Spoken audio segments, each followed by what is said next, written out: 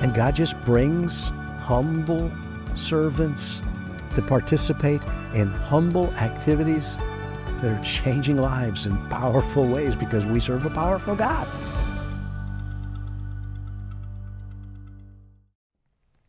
Hello, and welcome to Crosstalk. I'm Elijah Weiss. The ministry of Crosstalk has hit the milestone of 50 years working for the Lord. And in celebration, we're taking a look back through the years at where Crosstalk has come from. What you will see today is a series of interviews discussing the early years of Crosstalk as a TV ministry and the involvement of family, and how God has continued to equip us and move us forward in ministry. I hope you find these stories as interesting as I did. Let's jump right in. You know, we talked about family, and I know me myself, obviously, I'm involved in the ministry. I've been in some commercials growing up, um, my brother and sister as well. My, some music videos me and my cousins have been in.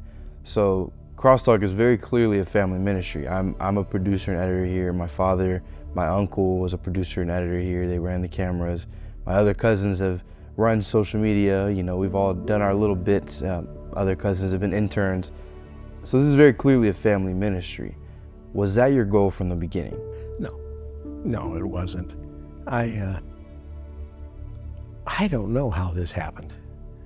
You know, I just have been trying to do what I'm supposed to do, and along the way, I needed help, and at, at different times, family members just wanted to help, and we needed help. Some of these stories we were a part of, or we we were you know the middle of, or we've heard them, of course, but you know, I'm sure the audience doesn't really know a lot of that history.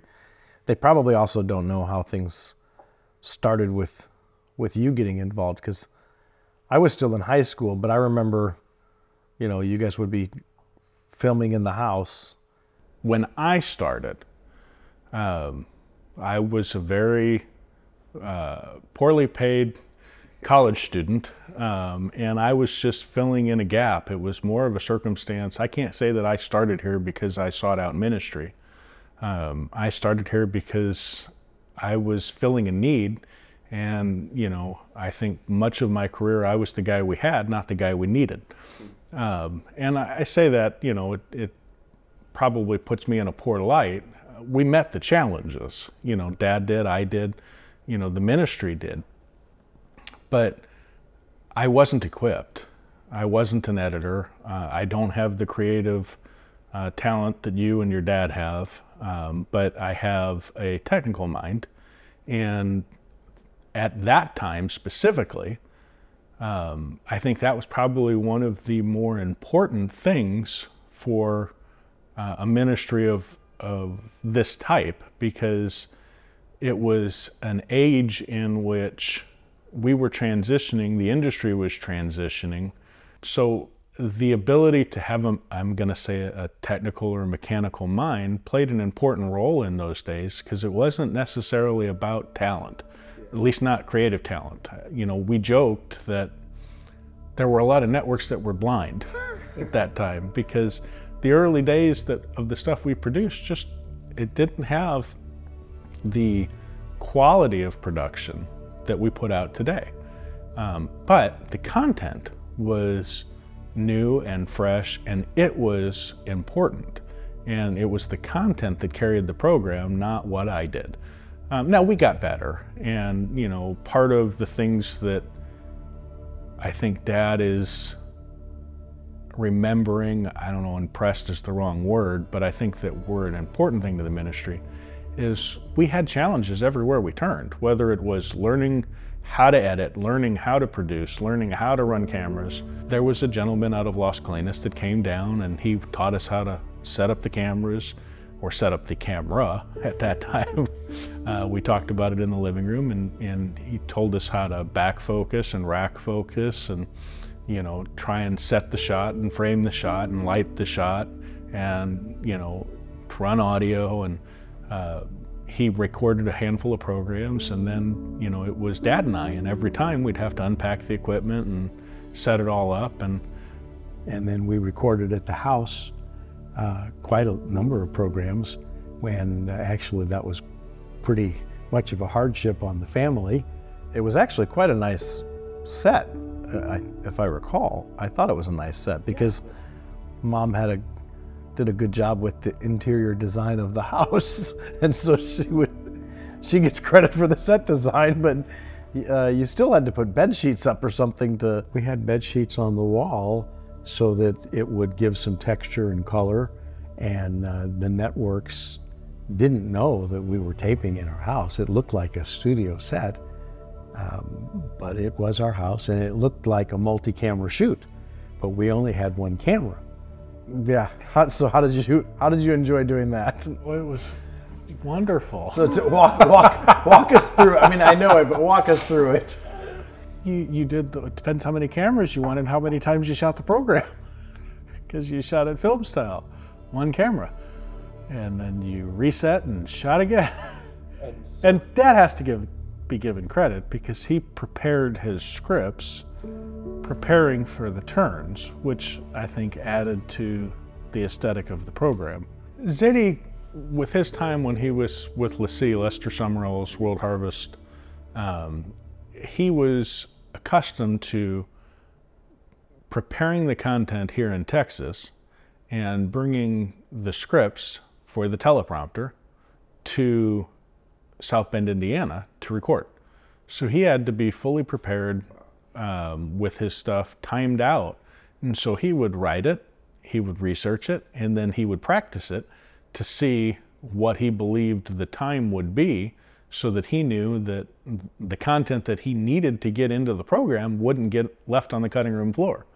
And so Sid- Zadie did a really good job of preparing the program content at that time. Much of what we did was Zadie behind the desk um, or teaching or prepared interviews. It wasn't the freeform stuff that we tend to do it now.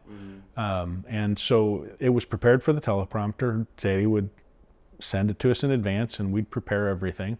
It wasn't telepromptered because for any other reason than he didn't want to mess up. He didn't want to say the wrong thing, provide the wrong information, and he believed that there was very specific messages that needed to get out. And he worked very hard to make sure that that wasn't off the cuff. Um, and and he also did a very good job of and does a very good job of regurgitating that information with the prompter as though it's still fresh and new content, not because it's anything other than his own words. I mean, he prepared it. Um, it's not like a newscast where you're reading somebody else's words. Um, so, uh, for me as an editor, I producer, I think is a stretch. Um, it was helping to take what he had prepared and put it into a visual format. So instead of one camera, He it would be giving his, you know, the teaching, and he would know it was time to turn, and he would turn and finish his sentence, and then we would shoot the whole program in that way, and every turn, and then you'd pick up and you'd shoot the whole way, and he had to know which way he was turning. to turn back. backwards. Yeah. Okay, and there had to be times where you you had the wrong turn, right? Oh, Surely sure there was were. times where you had the wrong turn. Well, it was it was challenging because we had the camera set up in the kitchen, shooting into the family room, and then the next shoot we would move to the other side of the kitchen, and there was kind of like a an open window that wasn't a window from the kitchen to the family room, and we would shoot through that opening, and then uh, if deemed necessary, we'd come back from the other side altogether. So it was. Uh, it was really a lot of work, and then after The everything, family had to be gone because we would shoot when the kids were in school. And Okay, like if I'm honest, mom, I definitely remember it being a little tense sometimes because he basically took over the house, and you weren't allowed to. You were like a prison in your own home. I was evicted. she she really enjoyed when they were interviewed. You, you were evicted. You were home, weren't you? You had to leave the house. Had to or chose How did to. this marriage last so long? like, how did this marriage last? So we literally had to, every time we would begin taping, block out all the windows and throw the family out because, and turn the phones off. You know, they were all landlines, but you had to unplug all the phones because you couldn't have noise. And uh, with six kids and uh, only one of them helping with the production. That's left five kids to just make noise. So, So you understand why I got fired.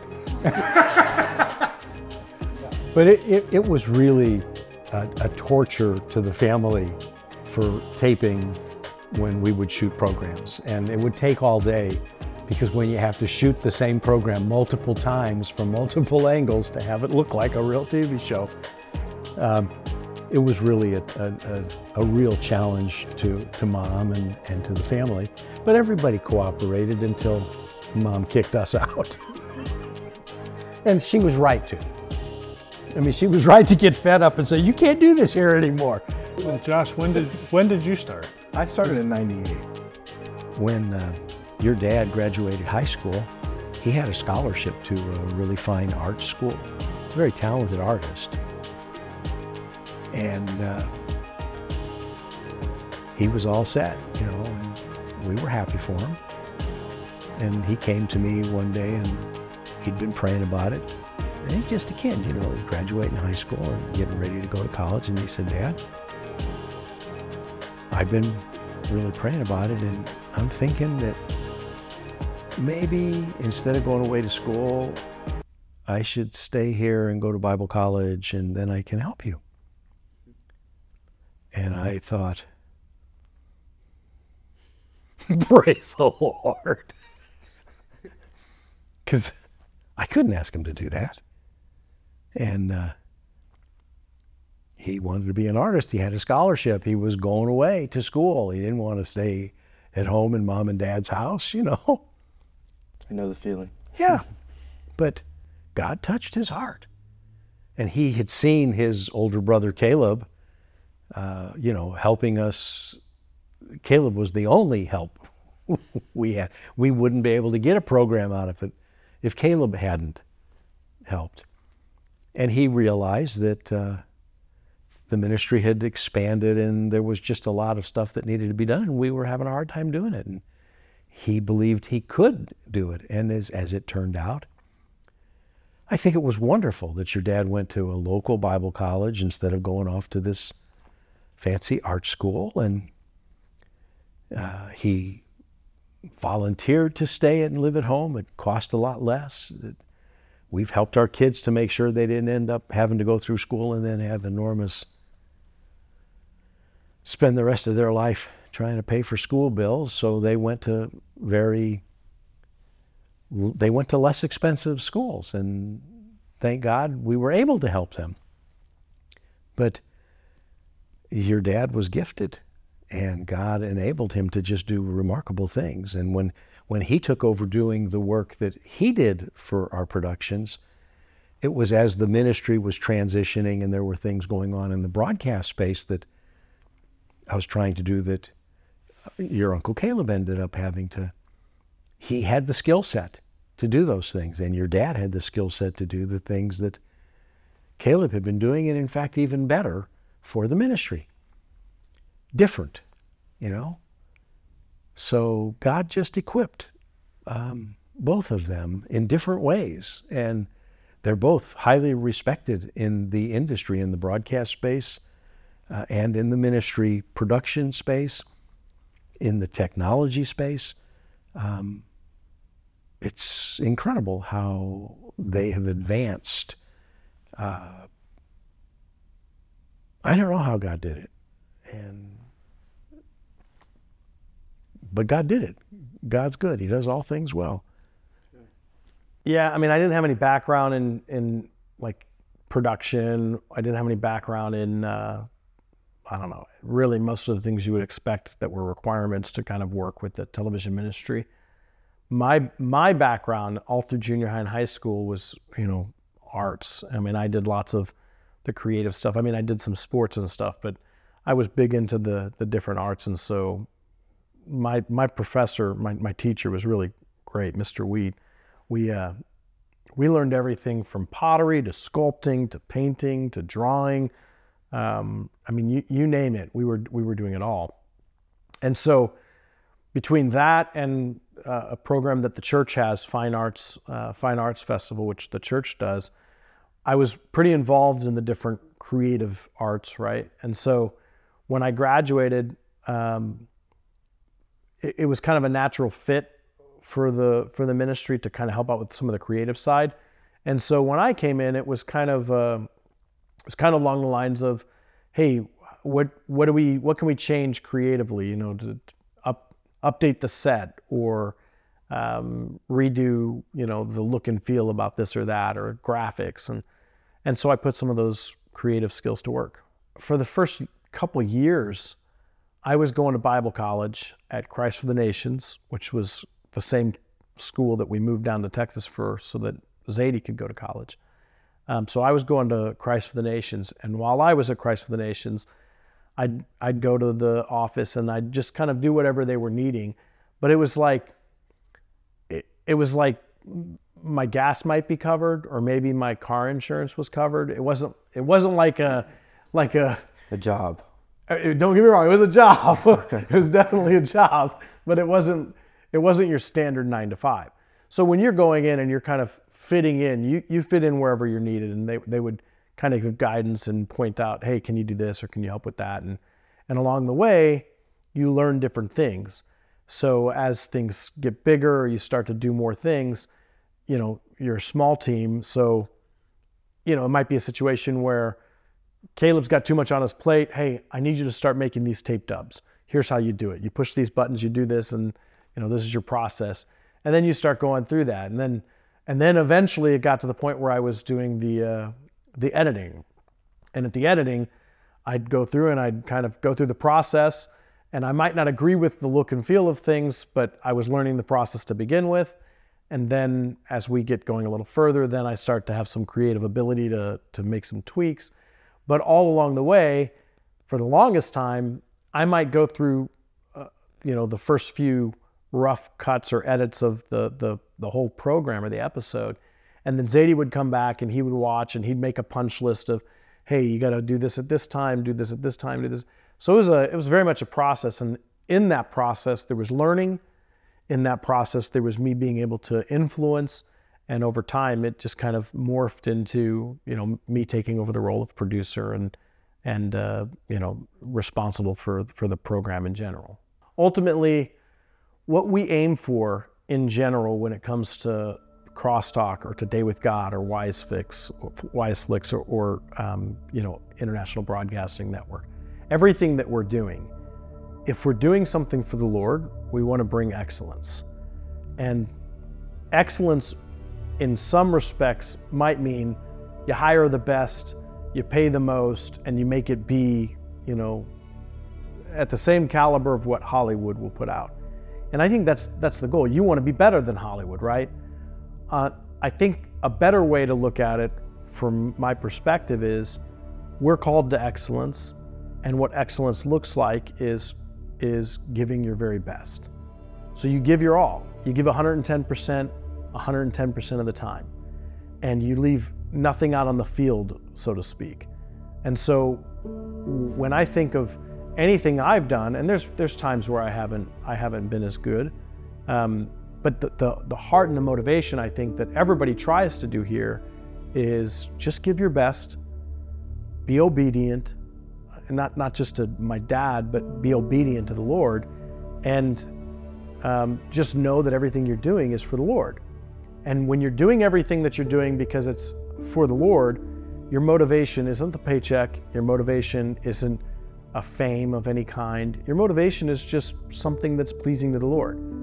And I think that Caleb's done that. I think Dad's done that. I've tried to do that. Jennifer's done that. Everybody that's been involved with the ministry has tried to do that. And it just, the outcome just looks different because we've got different strengths that God's gifted us with. If we all know that we're working towards a specific goal of making an impact in the world, of making a difference, then you can measure everything against that goal. Is what I'm doing today working towards the goal of making an impact, of changing the world, of, of touching lives, right? And that seems a little bit ethereal or, or a little bit too um, uh, difficult to pin down. But that's the reality of it. And when we've got testimonies and experiences where you, we walked in faith, or we gathered together and walked in faith, and we saw some fruit or you know faithfulness of God come through difficult times, it encourages us and it reminds us that we're on the right path.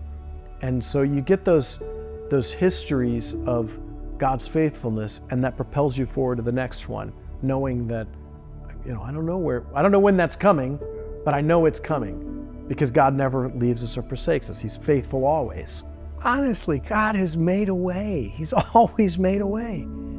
And I mean, there's been so many times I have felt, or my sons have felt, or you may have felt, we need more this, or we need more that, we need more money, we need more stuff, we need more tools, we need more whatever.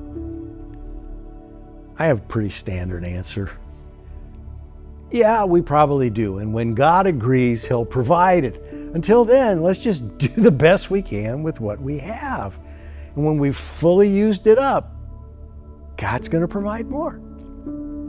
He will. Uh, and that's just how He's done things.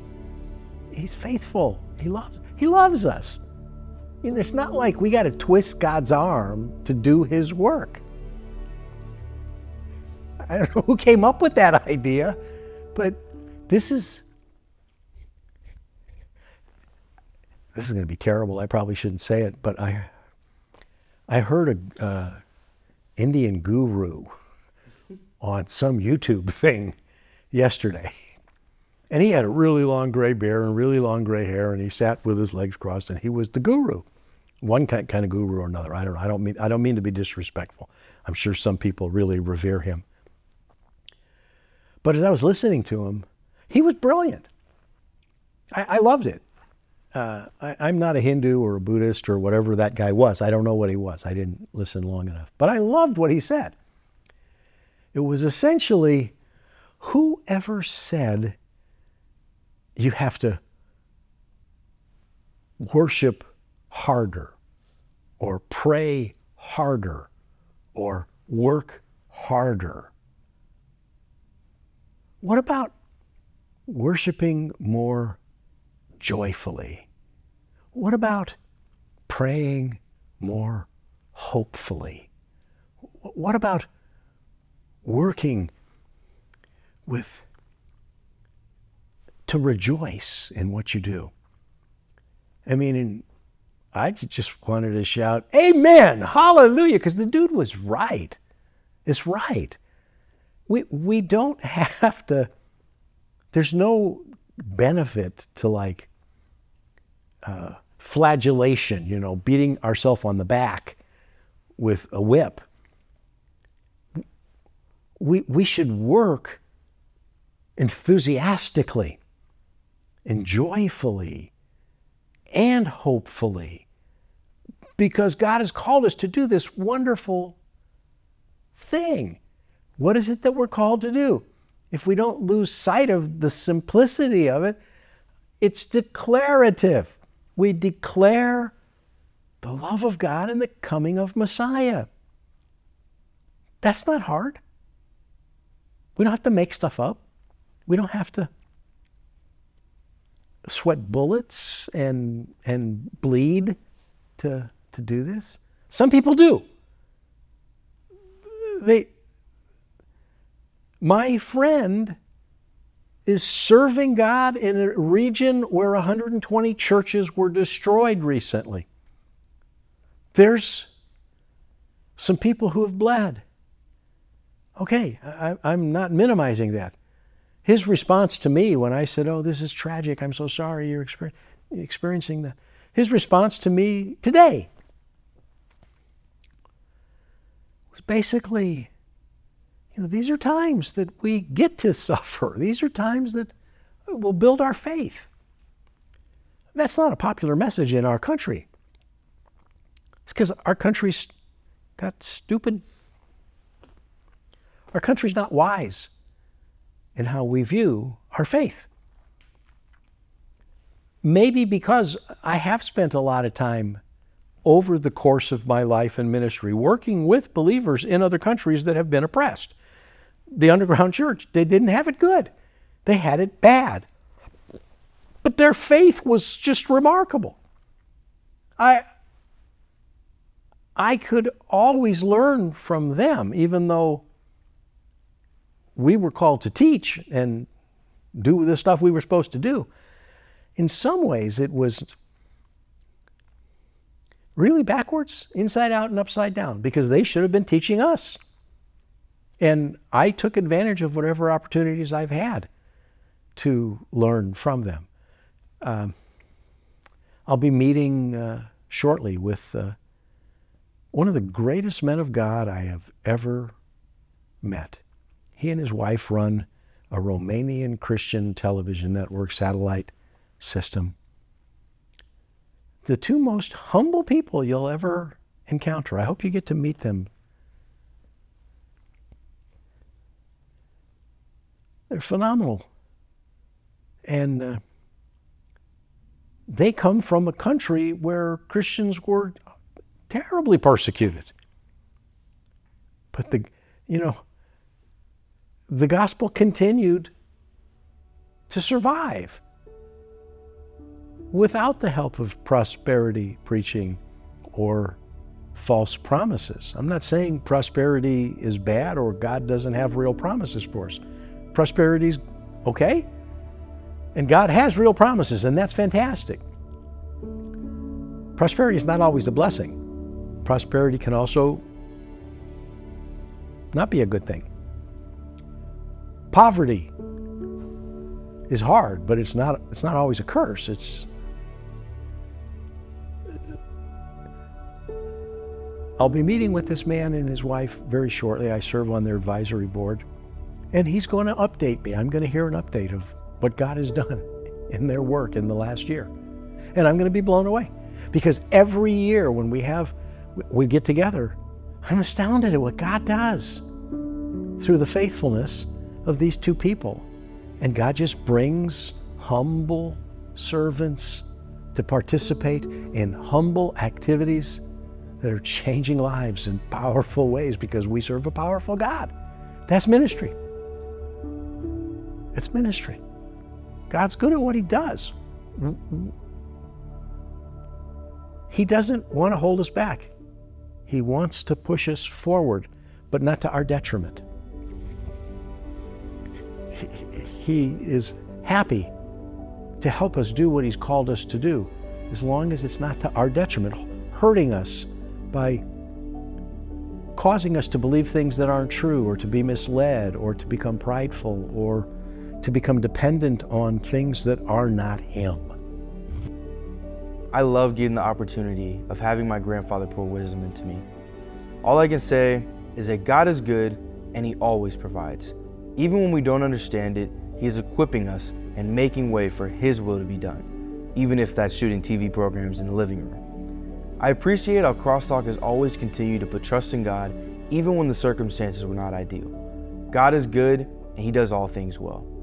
If you would like to keep up with us, follow us on social media at Crosstalk TV.